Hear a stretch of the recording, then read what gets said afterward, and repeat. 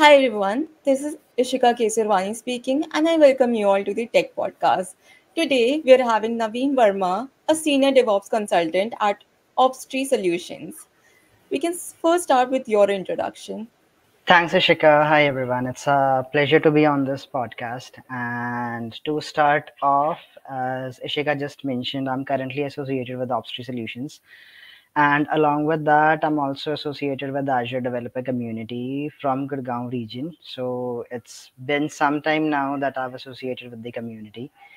So a crisp about myself would be yes, I am majorly involved with DevOps and cloud technologies, Azure being my primary cloud. And apart from cloud and DevOps, from the BAU, I do lead a team where we publish open source Terraform modules for Azure. We have multiple Terraform modules published in the official Terraform repository from Opstree itself. And apart from that, I have been involved with Azure developer community now. So I've done quite some workshops, a lot of sessions, a podcast. So, you know, the experience has been really nice and a lot of opportunities that I've gathered in my tenure till now. So things have been pretty wonderful. And yeah, that pretty much sums it up. Okay, so you said that you're a part of the Azure developers community. So, mm-hmm. how did you get to know about it, and what all opportunities have you received being a part of this community? Yeah, that's actually interesting. So when we initially started working in Azure space in my organization, so we started off with uh, some little initiatives where we started publishing weekly updates from Azure, what's been going on in the community, what new is coming up in Azure, and you know, then we started this initiative of Terraform modules in Azure as well. So these were the two initial initiatives that we started off. And yes, by going through and you know exploring, we came across the Azure developer community. That yes, there is one official body which takes care of all these initiatives and it was pretty enticing when i came across it and then i applied for being a member and then you know considering the community work and the things that we were doing apart from BAU helped me get into the community. And since I've joined the community, I believe it was last year. So post that, I have received a lot of opportunities, a lot of public speakings I've done, a lot of public workshops, a lot of podcasts. So, you know, I've interacted with really great people from this community and I have given my insights and I've received a lot of insights from those guys as well. So it's been wonderful. And yes it's still amazing you know considering the fact that yes right now also i'm in one of the podcasts from the community itself. So it's really um, really a great experience for me till now and i'm really looking forward to have a lot more opportunities like this in the future Well, that's really good. Also, like uh, you've been working with the Azure services for quite a Mhm. long time now.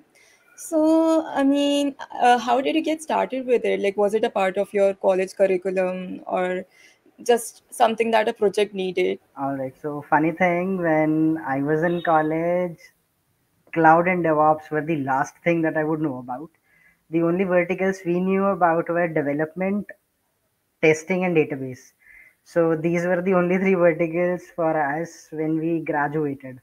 And when I was in my first organization and we were going through our training phase, and then you know there was the team segregations that all the new joiners will now be bifurcated in their teams.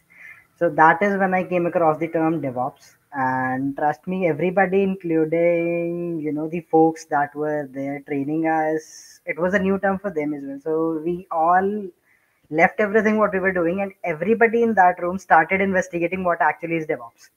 So we left all our assignments and we just started googling what is DevOps first. Let's get the meaning there.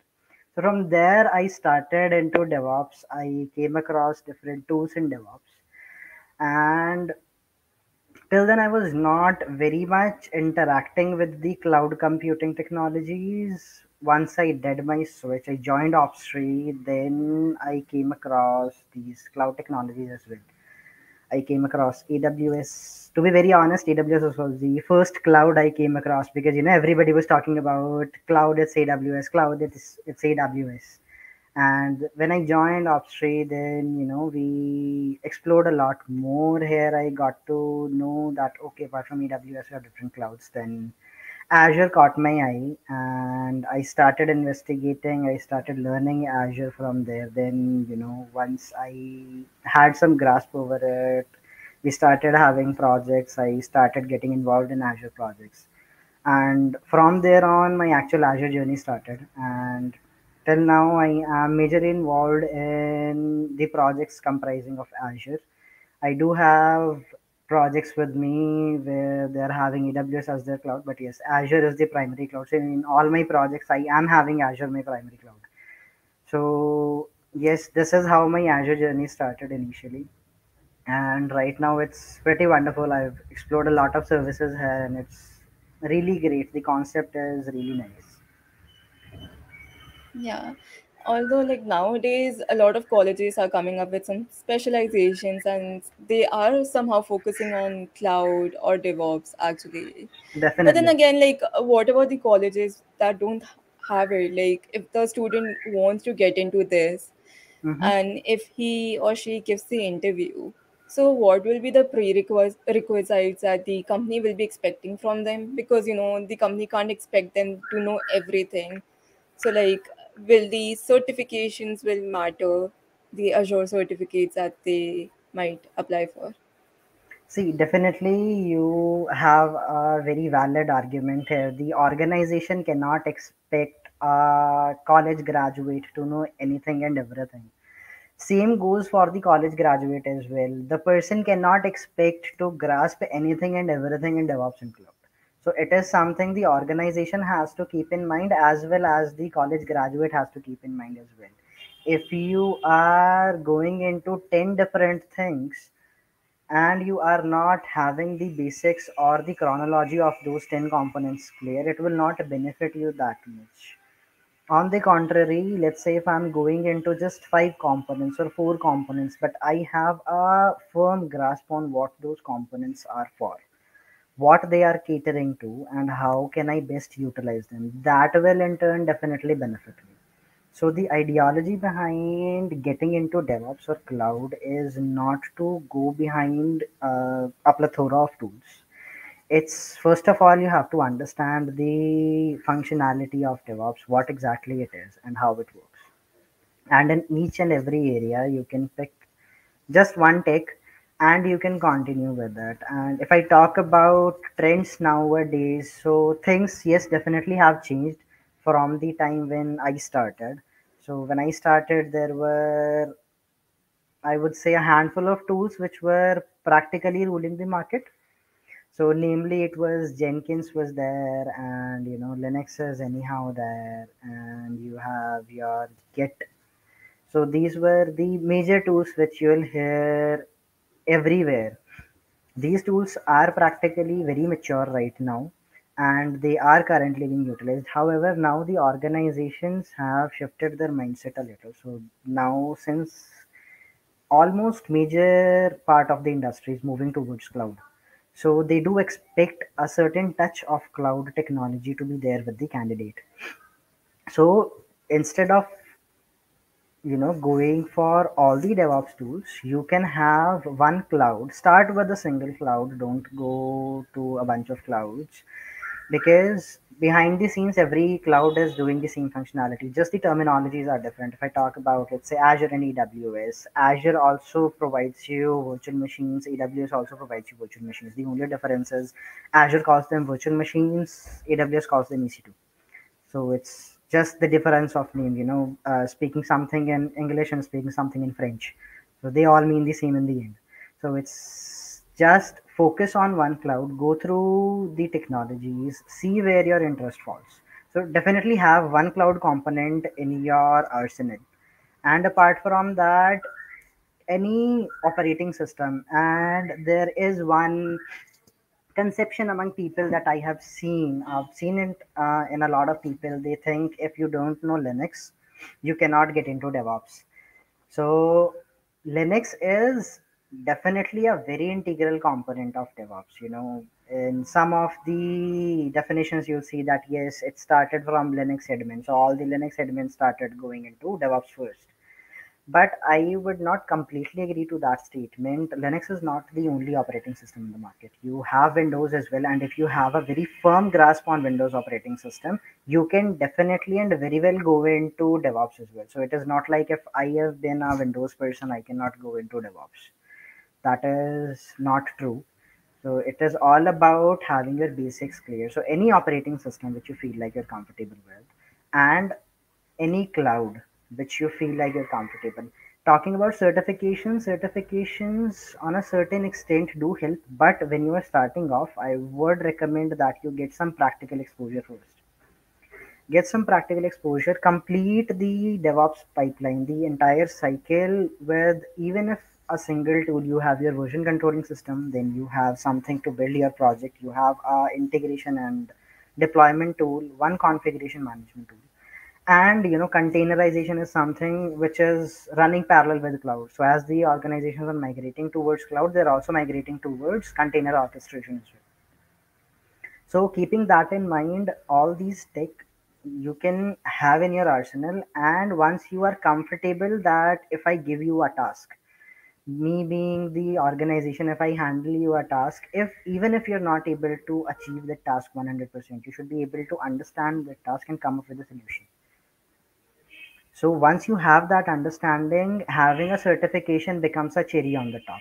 So you can definitely go for a beginner level certification in the starting, and then you can proceed ahead based on your interest to the specializations. Yeah, that makes sense. Uh, so, like, if you have to um, elaborate DevOps in one sentence, what will it be? All right, so there are a lot of definitions for DevOps. There are different terminologies used for DevOps. So what I believe it's a cultural evolution of technology. in my aspect, what I have seen and what I have experienced. So, DevOps is not only about tools, DevOps is not only about using cloud. DevOps is more focused towards culturally evolving the way you utilize your technology. When we talk about things which ha- you which used to happen, let's say 10 years from now. So 10 years ago, we were majorly focused on waterfall model. We will have a huge monolith application. That application will be built. Once it's built, it will be deployed, it will be tested. The developers will be getting the feedbacks after months. Then they have to go through their entire code again. Then they'll again, you know, make the changes, give it to QAs. QAs will again go through all the documentations because right now they're also rusty. So they will also go through what their findings were. Then they test it again and then you know this to and fro used to happen. Now when we talk about devops so things are more connected. Teams are more integrated with each other. So the cultural evolution has happened. Now whatsoever a developer is doing the testing or the qa guy knows about it in whatsoever environment a developer is working, that same environment is present with the QA. So there are no knowledge gaps, there are no environmental gaps, there are continuous feedback loops. So as soon as something goes south, you are notified right away. So you can take a step back, fix that, and you can proceed ahead. So I would say it is more of a cultural evolution of technology, how you better utilize and optimize it. Yeah, I mean, there's always something coming up with Absolutely, time, and it's just making the whole process so much easier for us. of course. Yeah. So, like, on your point of view, how's the future trend of DevOps in particular, and with cloud also? Uh, so if we talk about the future of DevOps and cloud technologies as a whole, things these days are progressing really fast because everybody wants to do or perform their execution in real time. Nobody wants to wait that first I will do my ingestion or first I will have my executions done, then I will visualize or analyze them, and then I'll take the next step. Right now, what the organization are more focused towards is things have to be reactive enough that as soon as an event happens, I should get the outcome or I should get the next event happening. So the real-time ingestion of data, the real-time parsing of data, we have multiple tools in place. So things are evolving toward real-time technology. So you, for instance, you have Kafka for you know real-time streaming, and a lot of services are coming into the picture. So this is what right now the trends are. And if we talk about DevOps, so DevOps is also evolving in the same fashion. All these new tools and techs fall under the scope of DevOps these days. So being a DevOps engineer, you also have to evolve yourself continuously. So you are at par with the continuously evolving technology. You should know how you can better optimize your pipelines so that your pipelines are coping up with the uh, real-time uh, ingestion or tracking mechanisms. My pipeline should be optimized enough so that uh, my wait time is reduced. I can get better results. I can get my components up and running. So if I talk about, for instance, Azure do offer a lot of new services in this space. So AI is, you know, AI ML is something which is pretty much the future these days of the technology. This is where every technology is going. Everybody wants things real time. They want their applications, they want their machines to be reactive enough. So if anything is happening and nobody is there to monitor, even then my application or my machine should be able to handle that situation. Things have to be more robust. Things have to be more scalable. So if we talk about an AI/ML space, Azure do offers cognitive services. We have facial recognition API. So most of the organizations, one of my projects right now, they are working in this space. They are utilizing the Azure facial APIs to incorporate it in their system. So you know you can better track the facial expressions of any candidate you are encountering. So even if it is, uh, you know, uh, virtually proctored discussion, a real human being is not sitting in front of you. The AI would be proctoring you. The AI would be there monitoring your every movement, your every facial expression based on those APIs. So this is how much the technology has evolved, and you know there is, you know, as we've always been saying, sky is the limit. So that is practically what is happening these days so a lot is uh, a lot of it is changing. And if we talk about cloud evolution so there are a lot of new things coming up as we are just discussing ai and ml so in the same fashion we have iot also going in place. So you know now i can even control my fan from my smartphone. I don't have to go towards the switch box and you know turn the switch on. I can just tap my app or you know give a voice command to my application and you know just turn on my fan making us more and more lazier day by day.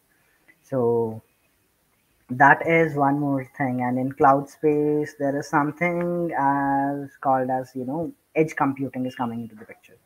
So all these real time receivers that we are having these days so almost all the electronic gadgets are you know getting iot enabled these days. So if i take the example of iot so edge computing is something which is coming into the picture because you know having a cloud data center is a more centralized approach where all my servers or my racks are placed in a big landscape all the telemetry that i'm getting all the data that i'm getting from my receivers are transported over the internet to that particular data center. And once they have reached that data center that data would be parsed analyzed and then the next operation would happen. What edge computing is bringing on the plate is edge computing suggests that we go more decentralized meaning wheresoever I'm having my receivers, wheresoever I am having my gadgets, my compute and my storage should reside right there in that receiver or in that proximity. So, what benefit it brings us is the first and the best benefit is exponentially reduced latencies. In first scenario where I'm having a centralized data center, my telemetry is going from say Delhi to uh, East US where my data center resides. In the second scenario, my telemetry is going from my receiver to my laptop that is placed right next to it.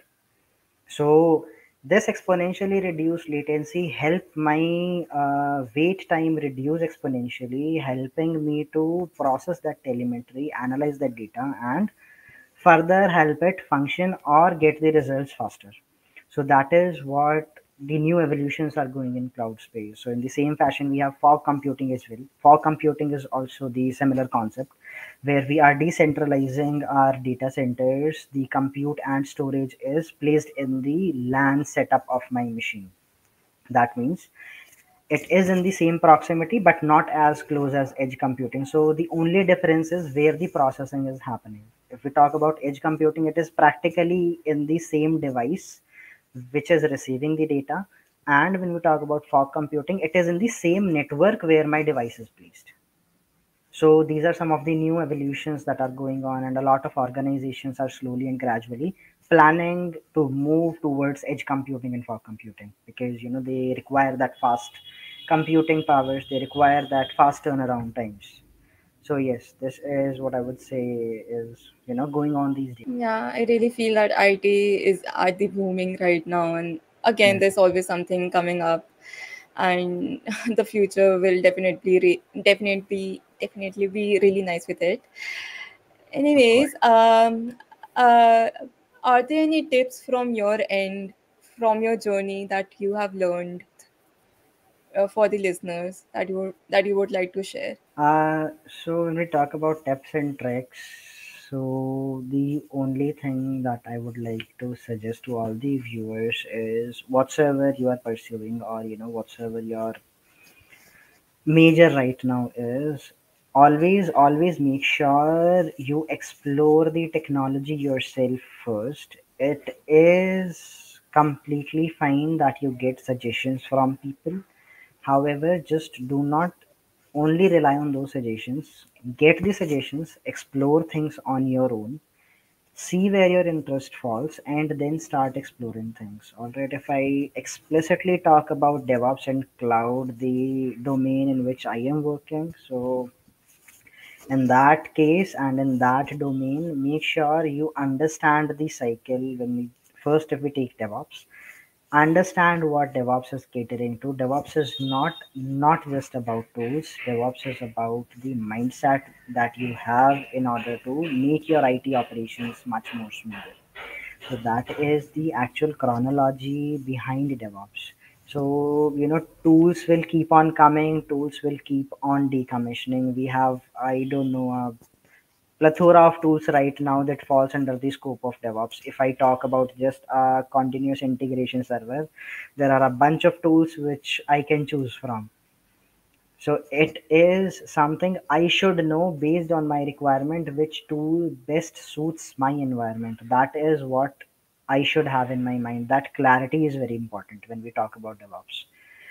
You should understand your system. You should have that reactive mindset actually so you can you know take care of those scenarios. You can have the pipelines or your technological architecture streamlined at its best. So just don't focus on the tools. Focus on the complete pipeline how the things flow what is the actual mechanism behind devops. Pick the tools wisely and then start exploring and the similar concept goes with cloud explore your clouds so one thing that I personally feel like after working for such a long time in Azure, so I might be a bit Azure biased, but yes, that this is more towards Azure and it's my personal opinion. So one thing that I like is things are a bit more organized. So if I take a base level example in Azure, you'll get the concept of resource groups and it is a very simple yet very effective component that uh, they have brought into the picture. Very effective in the sense now i can group all my components all my services under a single umbrella. So i don't have to go and search my entire cloud to look for a simple virtual machine where was it? I can have all my services listed under one umbrella and I can directly go into that resource group and check whatsoever I am gathering here. whatsoever I'm getting based on my environment. It can be based on my project, anything and everything. I can have those bifurcations, and it actually helps us get the better results and you know better organize my services there. So yes, so this would be my tips for the you know for the viewers. So first, always always remember to explore the tech and then get into it. So if you are a beginner, a beginner level certification will do. Do not go for the specializations yet because once you start working into the industry, it is very uh, likely to happen that your interest might switch. So let's say right now I am thinking I want to be a DevOps engineer, build and release engineer. All right, and I am doing certain level of certifications there. I plan Linux certification, I plan uh, Jenkins certification. However, when I started working in the industry, I started to grow a liking towards security. Now I want to be a security engineer so there are specializations in security as well. So beginner level certification for all the beginners, all the graduates who are freshly starting their careers in the industry, beginner level certifications are good. When you start working into the industry, you start gelling up yourself with the system, then you will better analyze what your interests are falling towards, and then you can plan your specializations. And not just your specializations you can have your entire roadmap created at that point of time and then you can start pursuing that roadmap. So that is what i would like to share with everybody. Yeah. So basically, like, it's just like you should never stop exploring because there's so much in the trend right now, and you can literally go and explore all the technologies. Yeah. absolutely So, so it is you know very well said so when you're working in technology and it's not just for devops and cloud any technical domain that you're working in you have to make sure you are on the edge you should be updated with what is going on because if you don't have that data just like the technology you'll be outdated in no time so make sure you're keeping yourself updated all the time very well said. So, on that note, we can wrap up today's session. Thank you so much for taking out your time, sir. And it was indeed a very insightful session. And to all the listeners, thank you so much for joining. And stay tuned because we're going to come up with many more videos like this. Bye bye. thank you thank you ishika thanks everyone